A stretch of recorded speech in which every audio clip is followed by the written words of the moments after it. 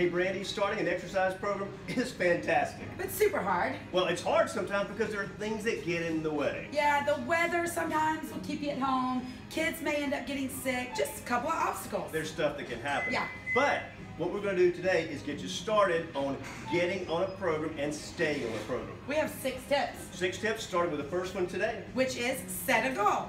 You got to set goals. The goals Yeah. can't be too difficult, No. but they've got to be hard enough. They challenge you, and you go, "Wow, I really accomplished something." When you reach that goal. And I want you to write that goal Oh down. yeah, that's Yes, exactly right. If you write the goal down, focus on it every day, you will reach your fitness goal. Absolutely. Now, next week we got another great tip for you. But if you'd like to go ahead and get the full series of tips, you can click the link today, Yeah, some of us are a little impatient. Yeah, don't want to wait. Yep. So click the link. and we'll send it out to you right now.